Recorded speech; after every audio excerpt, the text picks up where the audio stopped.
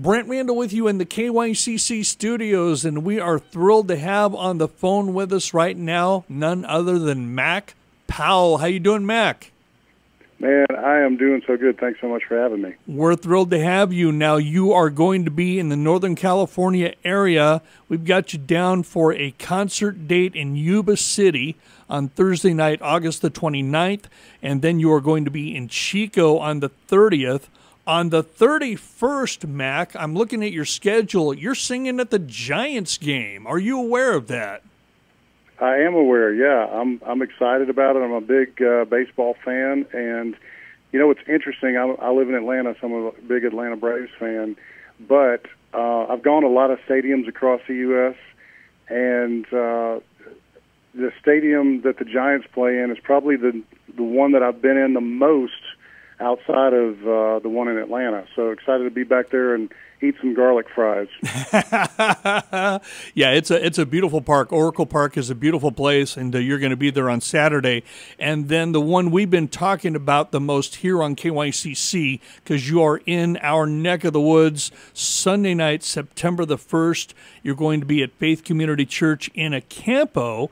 And uh, if I understand this right, tell me about this. You're bringing your tour is an acoustic tour, an acoustic set. What's going on there?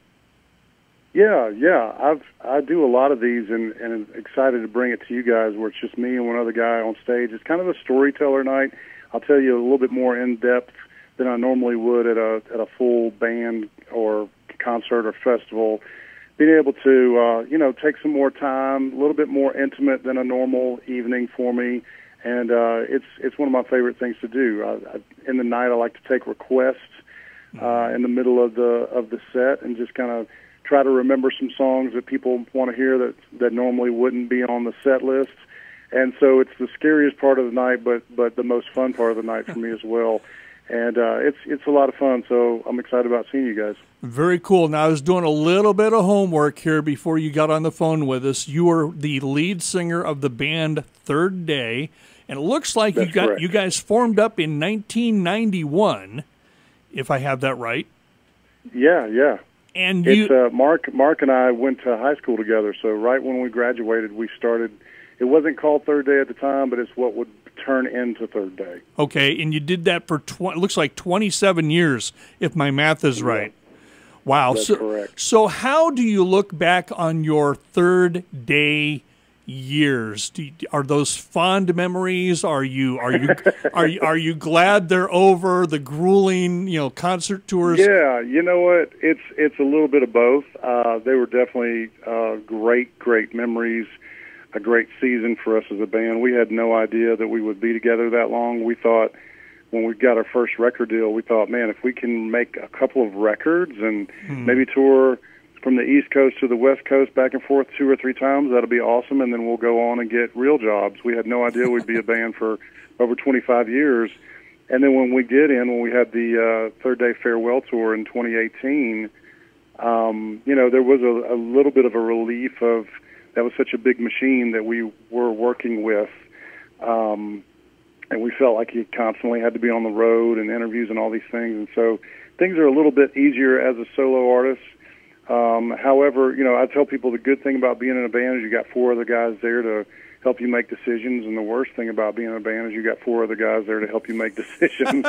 so it's it's the good, it's the good and the bad. But I miss those guys, and uh, we text every once in a while, and uh, and uh, you know keep in keep in touch. And yeah, it was really great memories and great music, and uh, yeah, of course, I'm still playing a lot of those songs. I think it's interesting to me. So many people come up to me before a show and say, "Hey, are you going to play any third day music?" And I don't know how I could do a concert without playing any third day music. So that's always a going to be a part of of me and my live set. So when when I come to see you guys, there'll be definitely some third day songs, some uh, songs from my solo records, and and also some brand new stuff and some worship songs as well. So it's a good good mix of uh, of ideas and thoughts and songs through the night. You know, for many years we labeled ourselves as an inspo radio station. You would understand that. So we played a lot of the lighter side. Third Day did not make it to our playlist a lot because you you guys were just rocking out. you know. But we we did play a handful of uh, third day stuff. In fact, one of our biggest songs we still have on the air today is uh, "Call My Name." Which we just Oh, yeah. loved and played it for years. So if you're taking requests for Sunday night in Lodi, there you go. there, there's my Yeah. request. Awesome. Yeah, I can try to remember that one. Work work uh, through the chords again, and, and maybe recall some of the lyrics. I can do that. I love it. Now, you know, I will tell you this. By the way, if you're just tuning in, we've got Mac Powell with us on the phone. He's going to be in the Northern California area uh, the Thursday, Friday, Saturday, Sunday, August 29, 30, 31, and September 1. We'll give those specific locations again uh, in just a second. I will tell you, Mac, my personal favorite third day song is not on a third day record.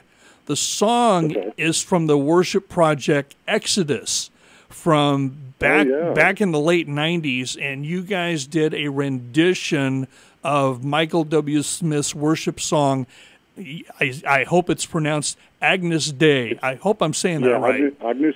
Yeah, you're close. Agnus Dei. yeah, Agnus Dei. Which is Latin, uh, which means Lamb of God. And um, yeah, we we had before anybody knew who Third Day was. We used to lead that song and worship at at youth groups and you know in churches.